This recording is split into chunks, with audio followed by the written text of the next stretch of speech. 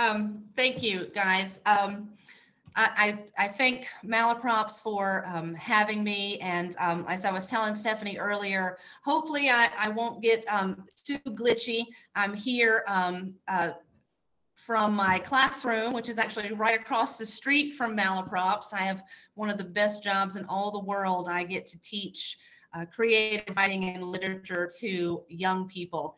Um, and I'm here in my classroom um, where I, I don't have any better internet than at home, but I have a lot less distractions. So they, they're used to, um, if, if I glitch out for a moment, I think they talk amongst themselves and then I pop back on. So hopefully we'll be fine. But um, I'm, I'm really glad to, um, to be able to, to do this.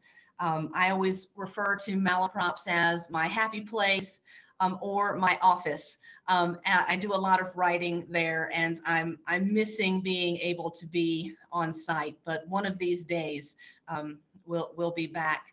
Um, so I'm, I'm just enjoying being uh, across the street for the moment where I, I see it as I come into work. So that, that's good. And, and I thank you guys for, um, for coming. Um, one of the, you know, if, if there's a silver lining at all to all of this that we're going through, it's, it's certainly that um, that, that we can sign on to the readings from from anywhere and and I see some faces that I know and that I know are not here in Asheville and um, that that I would not be able to um, to be with tonight if if it weren't for that. So um, as we choose to see the good in things, that is is certainly um, one of the benefits. So I'm I'm glad to see everybody here. Um, so I'm here uh, today with my second novel, um, The Year of Thorns and Honey. Um, my mom said about uh, the title that it had certainly been the year of thorns and she was hoping that the honey was coming any moment. So I hope so too. I, I hope that um, the book in itself can be a, a little bit of, of, of honey. I, I, definitely do like to write about um, the, the everyday world. My um, my books tend to focus on uh, family issues and um, a lot of mother daughter, um, father daughter, siblings, motherhood, um, uh, career um, as a mother, um, all of those things that that are very you know real in in everyday life and and my my favorite thing is is to write about connections that that we have with with other people. So it's definitely an interesting time um, to have. Uh, you know those sorts of books coming out where um, it, it's about some of the things that that we're missing. Uh, so I'm hoping that you know there's uh, there's some escape and um, you know some hope in in that kind of fiction that that reminds us of um, you know our, our regular world and and our, our regular um, joys as, as much as our um, our pains. So I think what I'll do is read a, a couple of sections um, and talk a little bit um, about the book as I go. And then um, my favorite part of, of doing a reading and one of the things that I knew that I would miss with a book coming out during pandemic is, is being able to, to talk to um, to the audience, to the folks who come and, and listen. That's always my favorite part is is questions um, and just seeing what interests other people. I, I, kind of feel like, you know, as a writer, um, the, the part of the process that's for me is, is, writing the book. And, and now it's out, it's published. And so now it's, it's for other people. So um, I'm always interested to, to hear, you know, what, what other people might, might be thinking um, either about the book if they've read it or, or just about the, you know, the ideas um, within it. All right, so enough out of me. Um, I'm going to read uh, the, the very opening pages to start with. Um, the, the Lemonade Year follows uh, Nina, um, who uh, is, I think, a really um, relatable character in that she's sort of the, the, the real version of um, probably most people in so much as um, I feel like she's really honest, not so much with other people, but with herself. And you kind of see that because uh, it's told first person. Um, so you see um, how she feels about things and what she thinks versus how she presents herself. And um, I think she's, um, well, she's full of flaws. Uh, she's um, uh, prone to make the wrong decision for what she thinks is the right reason. Um, and then to continue to dig a hole when she realizes she's done the wrong thing.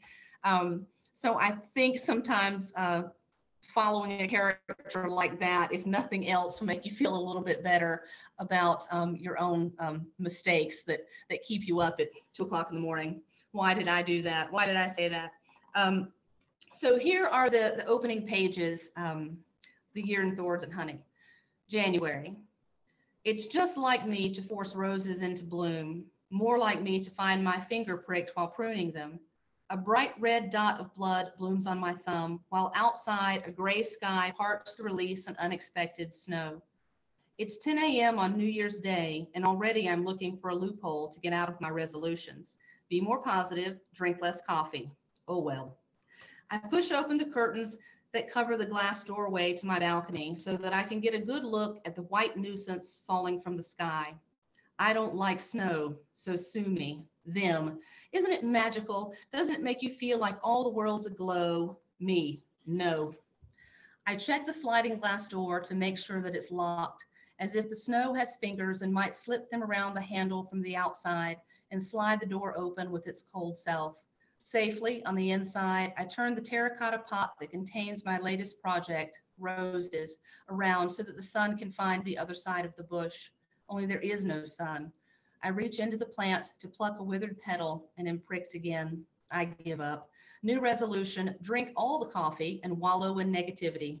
Done. Still, there are blooms on the bush, so that says something. On the way to the coffee pot, I put, I put my thumb to my lip and taste the tang of metal. I shiver, having forgotten to turn the heat up last night, and the air in the condo is still and cold. My bare feet rebel against the tiled kitchen floor. What's the difference between a resolution and an empty promise anyway? How does the changing of a single second from one year to the next produce significant change? I mean, I'm still wearing my pajamas and I can technically say I haven't combed my hair since last year. Yes, that does it. Pressure off, no need to pretend to become a better version of myself overnight. I slink around silent and careful not to wake the sleeping bear in the other room, my 17 year old daughter, Cassie. She went out with friends last night and I let her stay out past curfew. I hear her come home just after midnight. This new chapter of teendom is not something I like. More space, more responsibility, more sheer terror. She's growing up and out the door, and I'm trying hard not to cling to her shirt tail as she goes. I could swear that even her bedroom is getting closer to the front door. I've counted the steps from, one door frame to the other. One of these days, I know I'm going to recount and find that it's a smaller number somehow. Um, so that's um, the first couple of pages of, of the novel, just to get a kind of a taste of, uh, of Nina's voice and um, kind of where she is in, in her world. She is um, uh, living with her, her teenage daughter. Um, she is engaged to her ex-husband um, which is um, something that she's not so sure is a good idea, um, but uh, uh, loves him um, enough to try it again. Um, so I'm, the next part I'm going to read is a little interchange um, between the the two of them. the the character of of Jack, uh, her husband, is is sometimes her you know her her opposite, her her foil um, he he tends to have a, a lot more patience and, and, understanding than than she does sometimes. But um, I like their um, their interaction. I think there's um, I've always thought that the the ideas of, of friendship and um, and you know thereby you know marriage um, to be really fascinating when you think about people um, and and who they choose to to take into their world. I think sometimes with family we feel like there's an obligation to um, to to love that person and, and maybe even to try to like them. Um, not that we always succeed, but um, the the ideas of those people that that come into our lives that we have no real obligation to. Um, has always been really interesting to me. The the um, that that way that you incorporate someone else into um, your your heart and the the way that you give over part of who you are um, to um, to, to let them be uh, who they are. Um, and that's one of the things that's going on a lot in, in this book is um, Nina is um, really kind of struggling with the idea of self and, and who she is. I think that's um, something that, you know, even though you're a grown up, you still, um, you still reinvent yourself all the time. Uh, I was just talking to my students about, um, you know the, the stories that they're writing and a lot of them are writing you know coming of age stories and um, and their characters are kind of figuring out who they are in the world and what's important to them and and and who they are in relation to other people. And you know i was saying to them that even as you know as adults we still continue to do that. Um, and so i think nina is is trying to figure out um, constantly where she fits in the world. I, I know um, that, that I'm doing that too, especially I think now during the, the pandemic, the, even though the story has nothing to do with that, I think that's, um, you know, just speaking for me, but I, I'm sure other people feel the same way, is um, you are kind of trying to refigure out what's important and, um, and, and where to put your, your time and your trust and, um, and it kind of, um, I think sometimes we see that as a failure. You know, if if we're we don't have it together, um, you know, I say that to myself all the time. I I, I got to get it together. I don't really know what I'm doing, and I think that that's kind of the, the constant state of it is is not knowing what you're doing, but doing, um, you know, all the while. Um, and so I I think that Nina is um, an interesting character to follow because she sort of represents, I think, all the things that we feel like we're doing wrong. Um, she loves her family with everything that that she has, but she doesn't always think that she will get that same love in return, and it causes her to um, to to stall on decisions or to make the wrong decisions. Um, so I'm going to read this little passage about um, Nina and and her ex-husband slash fiance talk about uh, giving a relationship another try. That was probably a, um, um, a, a big step um, uh, for Nina to uh, to realize that that she was the one who had made the most mistakes in their past relationship. Um, I think it's very hard for us to admit when when we've done the wrong thing, and, and placing blame is um, easier to do. But um, so he, they're they're back together, and um, uh, this is just kind of a, a fun little scene uh, where we see them interact. Um, they are at a cake tasting. Um, Nina's sister is getting married, and um, since uh, they have uh, kind of waited until the last minute to put everything together, uh, Nina is trying to be helpful because that's what um, the, the firstborn always does is step in and try to, to take care of everything. Um, maybe where she doesn't need to, but she is at um, the cake tasting with Jack and um, and he is hoping that um, it will spark her desire to um, to plan their wedding. He is completely aware that she's hemming and hawing and and not really wanting to to make a commitment. Um, all right, so he says uh, they're they're they're they're tasting some butterscotch cake, and he says, "Let's get this one for our wedding." He says, uh, nodding concession as he pushes the plate toward me. Taste it. I remember having done all this the first time Jack and I got married. I remember that hopeful feeling I had, thinking our relationship would be perfect. I want to have that same hope now. Maybe things will be better this time. We never got to the part of a relationship where you learn to finally love each other despite it all. My mother says that part exists. I hope so. Still, I'm not ready to jump back in yet. It's too soon to order our cake, I say. We haven't picked a date. He looks at me a challenge. You can taste it though, he says. The plate comes my way again. We're here. We might as well start planning, you know, especially if this shop is so busy. He has my number and I know it. I taste the butterscotch cake. It's good, I say, as if it's not as delicious as it really is. Good. Jack's eyebrows lift. The baker comes back to the table to check on us. How did you like the first two? She asks expectantly. I thought the butterscotch was great, but apparently it's just good, Jack says, looking at me. I'm evidently not the best judge of cakes, if that's what we're talking about. The baker looks confused. Did you want something other than cake? He's just had too much frosting, I say, and raise my eyebrow back at him. The first two were wonderful. What else do you have? Is that what's keeping you from deciding? Jack asks, a combination of mock and sincere concern. What else might be back there? What else? What if nothing else is back there? What if this cake that is sitting on this table, he says, and points to the cake and then to the table, is the only cake there is, and it's perfectly fine and will work for the occasion? Would that be good enough? Or do you really need to see what other cake is out there? The baker looks from Jack to me and back to Jack. So do you want me to bring out other samples? I'm not sure I'm following what's happening. I look Jack in the eye. I like this butterscotch cake just fine. I don't want you to like it just fine. I want you to think it's the best thing you've ever had. The baker tries again. It is our best selling cake. Hear that? Jack says with a sm- sly smile donning his face. This butterscotch cake is very desirable, the most desirable, you might say. He lifts one eyebrow again and the corner of his smile twitches. I roll my eyes at him playfully. He's not angry with me, but I know he means what he's saying. So, do you want to go with the butterscotch cake? The baker asks, visibly confused. Jack sits there, the sly smile replacing by replaced by waiting eyes.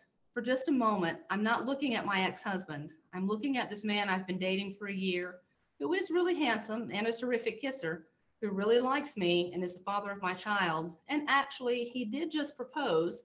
And I sort of said yes, although I said it in Spanish. And wow, it really does show that he's been working out. Yet I can't quite get my head in line with my heart. I can't convince myself that this time around will be any easier. So um, we we kind of see uh, Nina right where she wants to be, but not really able to accept it. Um, one of the things I think about this book that it's um, um, it's about wanting it all and then realizing that you already had it, um, but maybe realizing that um, too little, too late to not lose it. Um, so I I think that uh, one of the the things about the the book that um, that I enjoyed writing uh, was uh, just kind of going along with Nina on that um, that ride of um, n- knowing what you want, but not being able to to reach out and, and take it. Um, she she tends to have things right at her fingertips, um, but uh, second guesses herself um, quite often. The, um, the, the book sort of unofficially uh, takes place in Asheville. Um, uh, I, as did the other one, um, uh, there, there are a couple of places that are kind of named um, outright. And of course, there, there are a couple of scenes that, that do take place in, in Malaprop's, although I, I don't um, actually say the name of the store. I think if you're from Asheville, you would know exactly uh, where I was talking about. So I, I do have, I have, fun dropping those, um, those little things in. Um, and uh, I'm not really sure, uh, but I, I, I think that the cake shop in my mind is, is probably um, Karen Donatelli's. It was next to um, Malaprop's. It was where I was imagining um, that happening. Um, so um, looking at our time here, I, I want to read um, a little bit longer of a section uh, that takes place in the middle of the book. You know, for, for all of the humor um, that that Nina has. Uh, underneath it, she's um, she, she's really going through some uh, some struggles, and uh, she's definitely a person that uses humor to to try to diffuse those things, to try to not have to deal uh, with something. Um, in, in, in the book, her mother is, um, her father has passed away prior, and her mother has put the house up for sale, her, her childhood home and she's really clinging to um, uh, the not so much the memories that she has, but the memories that she wishes she had. Um, and there's a, a last little section where um, where someone kind of uh, calls her out on that a little bit in a good way. Um, but I want to read uh, this this section of the book. It it talks about Nina's um, brother and sister, um, and uh, kind of gives you um, a, a feel for um, some of the things that have happened in in their past and the things that uh, Nina is having a hard time uh, letting go of. Um, but in in her kind of uh, trademark funny sort of way. Um, and this is uh, July in the in the year. July starts with an unfamiliar car greeting me as I pull into mom's drive. On the passenger seat, I see a black leather binder with the same face and logo as the for sale sign, the real estate agent. I don't knock on mom's front door, I just let myself in. At first, the house seems empty, and I breathe out an audible sigh of relief. Everything is meticulously clean. Mom's house is always clean, but this is museum clean, as if it isn't my childhood home at all, but a display replica of it. I imagine a wax figure of mom posed in mid motion as she's coming through the kitchen door, and a wax version of my brother Ray sitting on the couch with his feet up on the coffee table. I walk cautiously through the living room so as not to knock anything over and disturb the display. I want to look inside dad's office to see if his wax double is sitting at the desk. My hand rests on the doorknob and my pulse quickens. Voices come into range as the intruders come through the kitchen doorway. It's not open concept, the agent is saying, but don't you love the nostalgic feel? It's like being a kid again, being home. I'm appalled. Yes, it is like being a kid again at home, my home. Oh, the agent says when she sees me. Hello, thank you for stopping by. But I'm actually in the middle of a showing at the moment. Can I give you my card and speak to you later? This is my house, I say, sounding just like the child in question. The agent tilts her head and the young couple look at each other anxiously. The agent nods her head and then makes a knowing face. Oh, you're one of Cecilia's daughters, she says. I was just showing this terrific couple your mother's beautiful home. You are? Nina. I'm sure Nina can attest to the potential of wonderful family memories in this idyllic home, the agent says politely, but with a hint of, now show yourself out and let me make a sale. Yeah, I'm not going anywhere, agent lady. And yes, I can attest to wonderful family memories this home can make.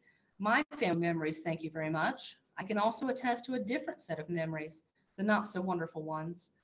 It's not as idyllic as it looks, I say before I can stop myself. The agent chuckles but opens her wise eyed like she can bug eye me right out of the house. All older houses have their issues, she says, turning to the couple knowingly. That's why we do house inspections. Anything we find will be addressed before closing. A few little fixable issues are worth a great neighborhood. Oh, now it's on, agent lady. Just remember you asked for it. This is a great neighborhood, the young wife says and takes hold of her husband's hand. Thank you for stopping by, Nina, the agent says and hands me her business card. Millie Preston. Tell your mother she's in good hands. Oh, sweet Millie, it's not that easy to get rid of me. She she turns on her heels and leads the couple to the stairs, presumably thinking that I'm headed out the front door. Let's take a look at the bedroom, she says, with a glance back at me. I let them reach the top of the landing, round the little corner, and slide Millie's smiling face into my back pocket and slip up the stairs behind them. I find them at first in mine and Lola's bedroom. The agent is standing just inside the door, and the young couple is gazing through the window that looks out across the street to the neighboring yard. This would make a great room for Sarah, Millie says, her voice lofty and springy like a song. I believe it was the girls' room when Cecilia's kids were little. Her daughter is an artist now. This is a lovely creative space, don't you think? Oh, it is, I say loudly, and Millie startles a bit. Great light, but the floor sags a bit. I stop in the middle of the room and slide my foot back and forth right here. That can't be good. The husband wrinkles his brow and joins me in the middle of the room where he slides his foot back and forth too. Hmm, he says. It's just the house settling, Millie says in an attempt to recover the upper hand. Sarah would love this room, the wife says and looks back out the window. I love this window seat. In memory, I see Lola sitting there, 10 years old, her leg braces kicking up in the sunshine as she finds as it finds its way into the room. The car that hit her shattered her legs below the knees. Her legs recovered, but her brain injuries from the way her head thudded across the asphalt lingered. In my mind, she's got her paints beside her on the window seat, the canvas propped up on her lap. They had given her those paints when she came back from the hospital. She sat in the window painting all the time. Memory Lola looks over at me and then back out the window. Mom hadn't changed our room since we were young. The same white furniture set, the two twin beds in the same place in the room. The posters we put up as teenagers to cut down on the princess vibe are gone after mom's cleanup day, but I can still see them. Band posters and pictures of our favorite actors smiling out from the shiny paper. Next door, I think I can hear Ray's music, dark and solemn. My sister spent a lot of time in that window when she came back from the hospital, I say, sinking to a terrible new low, trying to plant bad memories into the minds of these undeserving strangers. She was hit by a car, 4th of July when we were kids. This is a hard time of year. The wife gasps, Did it happen in this neighborhood? No, I say, I'm not that awful. The wife puts her hand to her heart and Millie clears her throat. When I look at Millie, daggers shoot out of her eyes, but I dodge them with a devilish smile so that they whiz past me and land in the wall behind my head. That'll be another thing the young, couple, young couple will need to fix. It's a very safe neighborhood, I assure you, Millie says sweetly. Um, she, she will, Millie says sweetly, and holds her hand out to beckon the couple away from me. Shall we take a look at the rest of the upstairs while Nina shows herself out? I'm afraid you can't kick me out of my own home, Millie. Preston, nice try. Oh, yes, I say, let's take a look at my brother's room. It's right next door. I walk out and around the corner into Ray's room. The husband is hot on my heels. There's a hole in the wall right here, I say, and take a picture down. My brother punched his fist through it when our dad tried to ground him for driving home drunk. The husband runs his fingers around the edge of the fist size hole. He looks at me and raises an eyebrow. Millie takes the picture from my hand and hangs it back up over the hole. I'm sure Cecilia just forgot about that, Millie says. Mom doesn't even know about it. I'm the one who hung that picture there, so she wouldn't be mad at Ray. Dad had found his liquor stash in the closet and waited for Ray to come home one night to confront him. I watched out the window until I saw Ray's car slide into the drive. I had put headphones on Lola, telling her that I wanted her to hear this new band I had discovered. I told her they sounded like the way she painted. She was just a kid, but already her artist soul was blossoming. Ray had stumbled in and tripped up the stairs toward his room. I wanted to warn him that dad was waiting for him, but at the same time, I wanted Ray to stop drinking. Through the wall that separated our rooms, I heard Ray let out a string of curse words when he opened the door to find Dad waiting. I heard Dad calmly ask for the keys and Ray loudly refuse.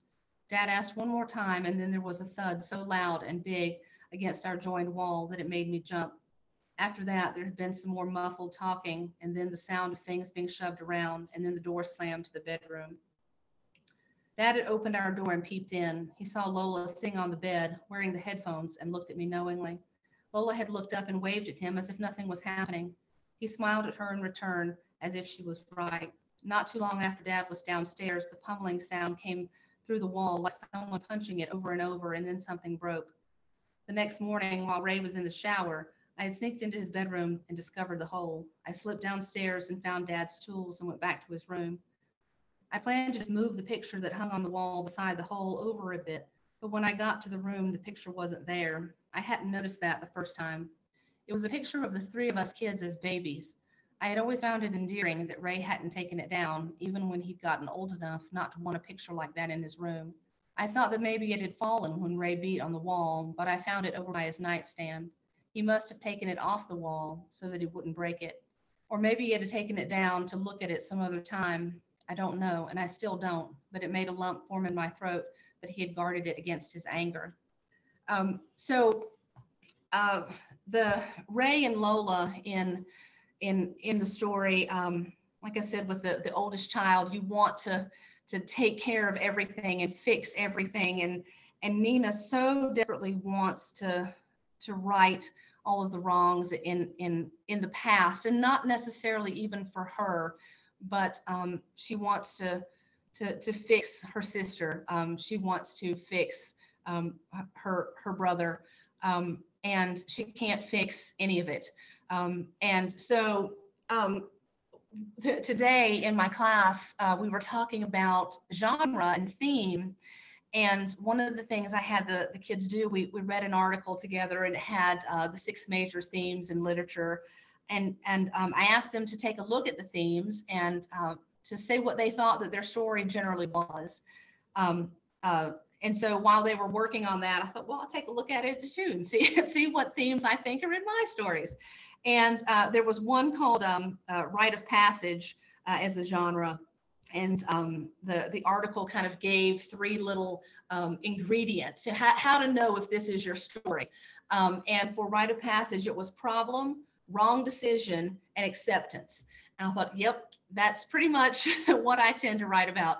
Um, life problem, uh, wrong decision upon wrong decision, um, and then uh, acceptance. Um, and so I, I definitely think uh, Nina is is in the throes of of all the wrong decisions. And um, as as somebody who can um, dig a hole like nobody else, she she goes through the book, sort of making things worse upon worse. Um, and um, and you you hope she's gonna to figure it out. Um, the last little section that I will read, and then I'd, I'd love to answer some questions, and this one's very short, is just from a very unlikely friendship that she has. Um, she is friends with a, a priest um, and, who, who is back in town, and um, he, he often, uh, well, all of the time, um, will not let her get away with her Nina-ish uh, self. Um, he will very lovingly um, kind of uh, call her out on things and steer her in the right direction.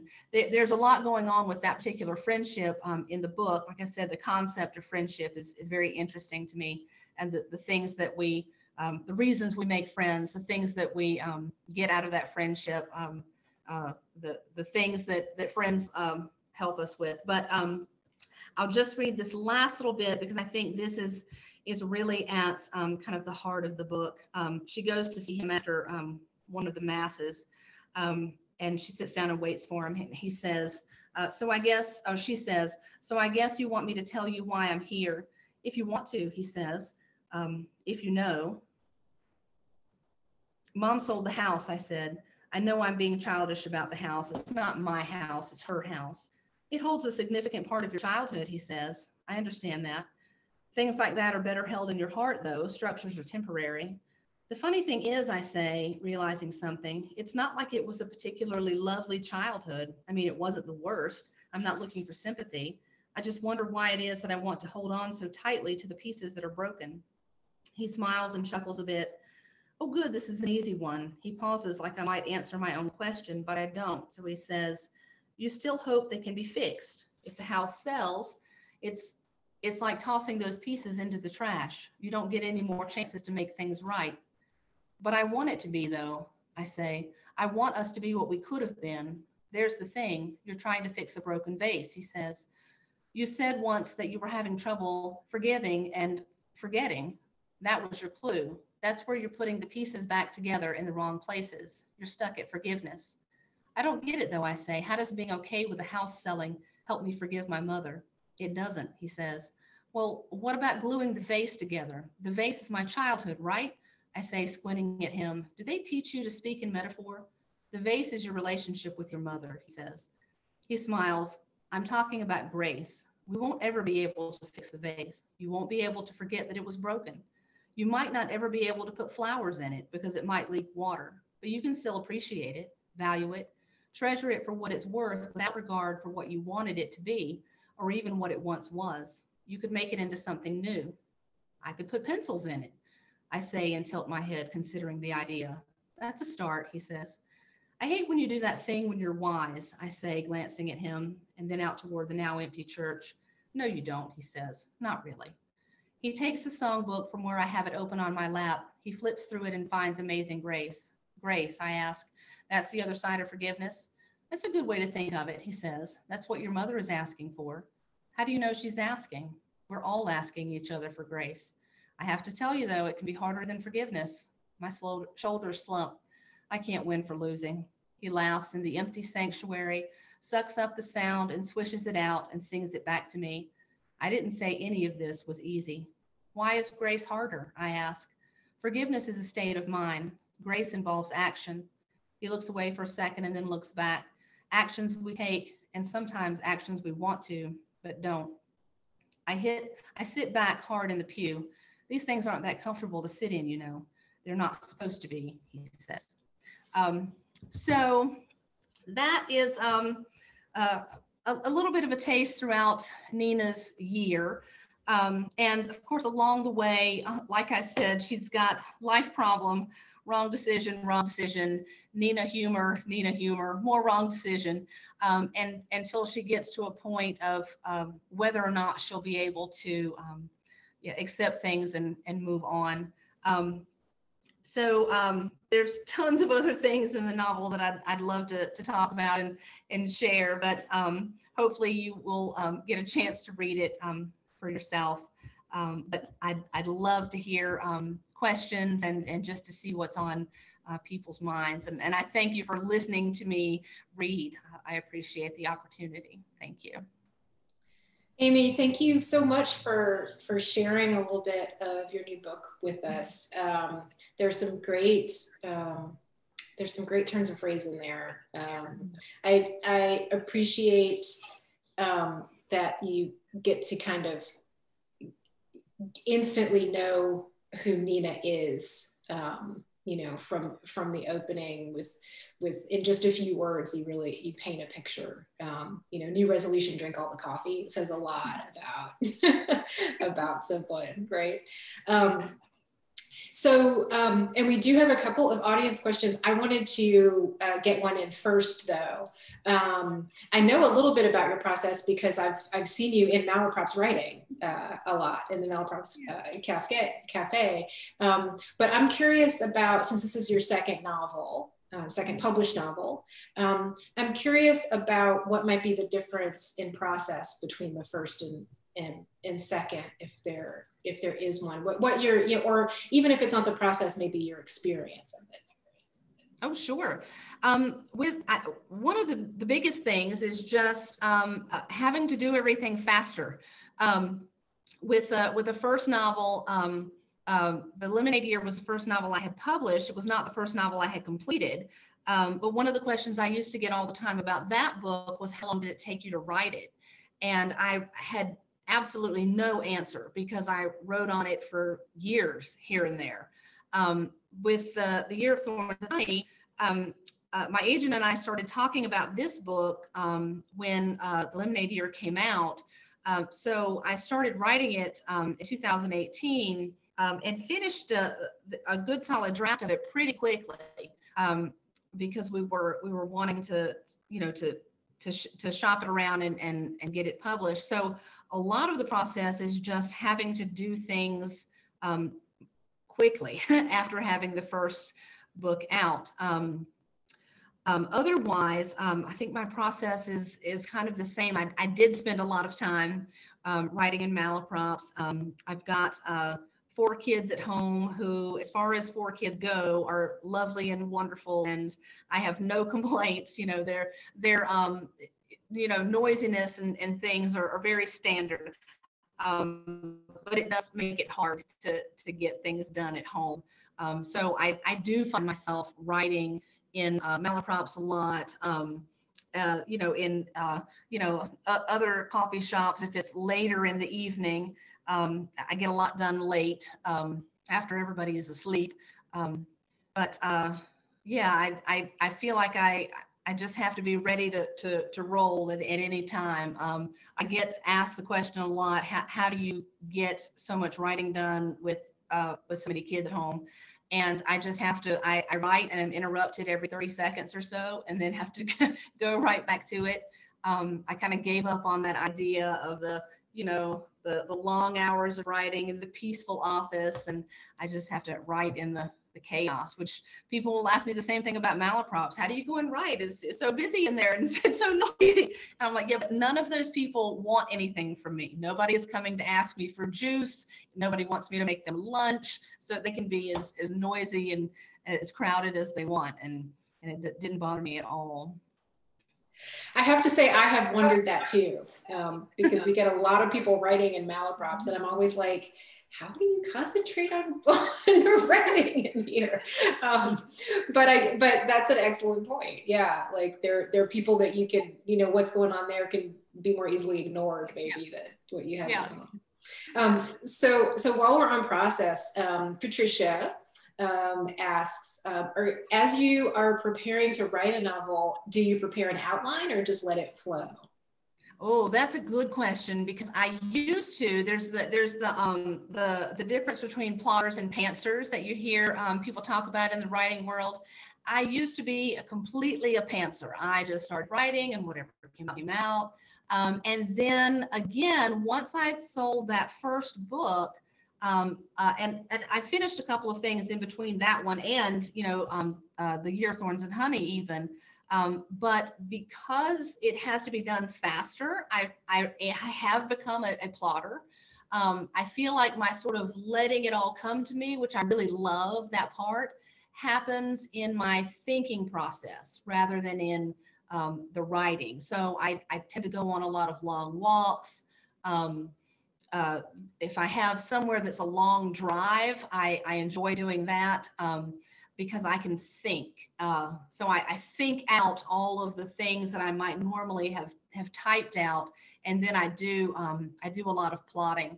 Um, I'm at the thinking stage right now of a new book, and I, which I'm so excited about because from the time the pandemic started in in March, and I hear so many writers talk about this, that the creativity just shut down and um, so many people I know, and, and me for sure, um, have just been on dry spell as far as being able to create something new. Um, and so I, I started to sort of hear the voices in my head um, not too long ago when I was, um, you know, out on a walk. And um, may, this is probably sounds like over the top, but I actually cried when when I got that new idea because I had not thought of a new story. I hadn't heard a new character speak in seven months. And um, when when I heard it, it was it was so you know visual to me. I saw these two characters and um, talking to each other. And as you can tell from you know the one I just read, I I love to write dialogue. Um, and so I heard them speaking and this whole full blown conversation and in them speaking, I also was getting these, you know, firings of everything that they were talking about and why they were having that conversation and who they were to each other and, and what their history was and, and what they were hoping for the future, like, like that. It, it just came back. And so I'm kind of, I had another writer, I, I mentioned that on, on Facebook and, and another writer friend said, uh, don't you love that part? It's like falling in love. And I was like, it, it so is because now every moment that I can, I'm thinking about these characters just like you would, you know, if you had had just fallen in love. So yeah, my, my process right now is is thinking about those characters, daydreaming, and my next step will be to to plot it all out and and then um, and then write it. That's that's great to hear, and what a what a great analogy about um, you know you're you're so you're in you're in the those wonderful first blush stages of romance with your yeah. new uh, yeah. with your new I book. love the way she said that. Yeah, yeah that's yeah. really cool. Yeah, you actually just answered Gail's question. Um, Gail, had, Gail had said, "Hi, Amy. Are you working on a new project now that this book is finished out?" And there you go. Um, yes, yes, excitedly, yes. Um, you you also actually uh, I think already partially answered um, Gary's question, which was how the pandemic changed your writing process, and and Gary was particularly interested in how you adjusted distractions. Um, since you um, and you you I think you touched on that, but if you have anything uh, to add um, or any yeah. advice maybe for writers, you know, dealing with yeah, you know, um, yeah. Uh, one of the classes that I teach um, is um, I, I, call it writing for publication, and it's a little uh, it's a group of students that um, uh, that that are very passionate about writing and and uh, one of the things I love about my job is is um, is seeing those um, those talents emerging and and and and wanting to encourage you know at that point where i remember being that age and and falling in love with writing. But the, but those kids too um, the pandemic has affected um, them. You know we're not going out not doing things. We're not the things that would normally you know spark our ideas um, are, are, just not happening as much. Um, so um, my, my process just got completely shut down. Um, and I focused my attention on, on other things, um, you know, just in life. Um, and I began to wonder how I was going to even fit writing back into it, um, you know, be, because of, you know, the kind of distraction of, of everything. But um, what I tell, um, you know, my kids and I were talking about today, my writing kids, um, was, um, and I wish I still I can see it over here. Um, I made this checklist for them uh, because we had we had our goals, and and every week we were going to either write a certain amount of words, or, one of the kids was going to you know finish a story, or and we had kind of gotten to over the week where the goals were something like uh, write something. Um, and then the next person's goal was like 10 words if i could just write 10 words and um and i could see that they were sort of like you know in this slump of here I'm in this class because I want to be a writer and and I'm not writing and um and so another um, thing that had been told to me I don't take credit for you know for the for the falling in love or this was that um, I heard someone say um, that instead of thinking about making a living as a writer to think about making a life around writing um, and that that really changed a lot of, of my perspective, especially during the pandemic, when I think everybody's kind of feeling the crunch of, um, you know, their their um, pocketbook as well. Um, to to really focus on um, the life that you're creating as a writer. So I have this little checklist over here, and it says, um, you know, just things to do to to keep yourself in the writing um, life, even if actually writing is, is a struggle. I, have got read fiction, um, write, uh, read um, uh, an industry article, um, listen to an author event, um, take a walk and daydream, um, submit a piece of fiction you might already have to, to somewhere, um, uh, voice something that you're happy about every single day. make a goal and keep it, however small, and then um, research journals and, and uh, publishing houses and editors just to kind of stay in the world. So I guess my um, long-winded advice, my kids also know that I ramble a lot, is to, if the writing part of it has, um, is suffering, to, to not let the rest of the writer life fall away, to still be involved in the other things that are going on to keep that the fire lit. Well, and I and that's excellent advice. Yeah, I, I it's it's interesting because we hear a lot of advice from writers as we do these events, and oftentimes there's a lot of overlap, and and oftentimes it comes back to to things that are very simple. Um, one of the pieces of advice we hear often is just to read right? Just mm-hmm. read a lot, right? People sort of take for granted that you need to, right? That you need to, you need to read. And, and then like, even if you aren't, you know, I, I love the idea of even if you aren't actively writing or writing a lot, being engaged with that with with the sort of the writerly life um, yeah. can can keep feeding that art for you. So that's really great. Um, so um, i want to go back to a question from valerie that's specific to the book. Um, why did you create oliver as a priest? Is it to address the brokenness of nina and her family to help yeah. them heal um, yeah, the the character of Oliver, and I know that Valerie has has has read the book. I and and he is a character. Um, th- this particular book is a standalone follow up to the Lemonade. You don't have to have read that one um, to read this one, but um, Oliver is a character that is uh, carries over from the first book. Um, and I I like when when I first was deciding to, um, to to make him be a priest. This is interesting how character develops.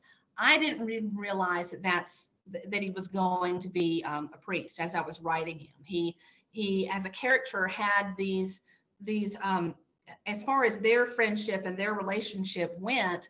Um, he always seemed very standoffish and had this secret of his own and um, and it took me a long time to get him to tell me what it was and it was that um, he had left uh, seminary and wanted to go back and so the, the reason that he is that I think that he comes back in in this story because um, he certainly didn't have to. He could have gone and and and worked as a priest anywhere. But um, I do see him as sort of the um, the uh, I guess the um, the, the spiritual, but um, you know the, the also the tangible. You know, right here, um, person that that Nina goes to to kind of sort out you know her feelings. And they've got a very interesting friendship that has a whole you know dynamic that i didn't even get into with the reading um, uh, that i think is interesting in the book. But he's definitely a character i think that um, uh,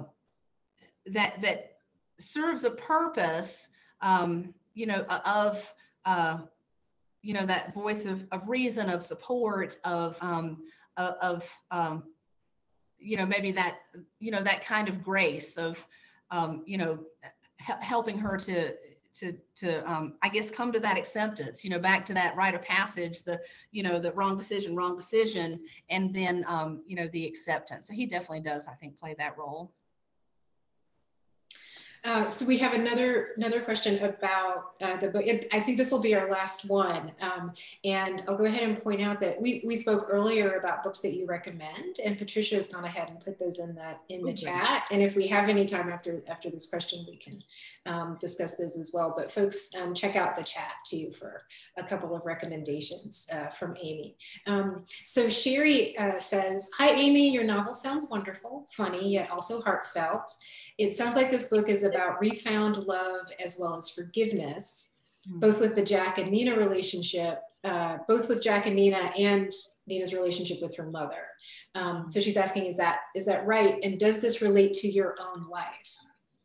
Oh, um, yeah, I think that's definitely uh, right. It's definitely about um, you know refound love and um, and the difference I think between the expectations that we have of relationships versus the reality of them, and um, and and and being able to not let the expectations, sort of like the vase part that I read, um, being able to to to love and appreciate the relationship or what it is versus what you thought that it would be. I think a lot of times we we have relationships romanticized, um, sometimes by books, sometimes by movies. I always say, um, you know, to, to folks that there's a reason why the romantic comedy ends when it does, when, when the characters have just fallen in love and gotten together, because the rest of it, uh, if they stay together, is sometimes pretty rocky.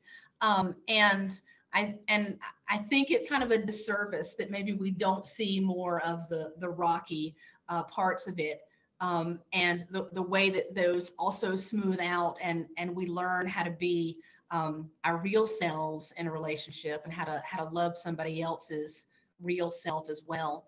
Um, and i think that even though um, I, you know i have i have not you know divorced and then remarried my husband. Um, and my mother and i have a, a, very good relationship. So in that way it's not it's not from my life but i think um, the part maybe that is from my life is just um, being in um, you know a relationship for a long time and and you know going through the ups and downs. And um, especially maybe with mother and daughter um, you know i didn't realize this until i had children.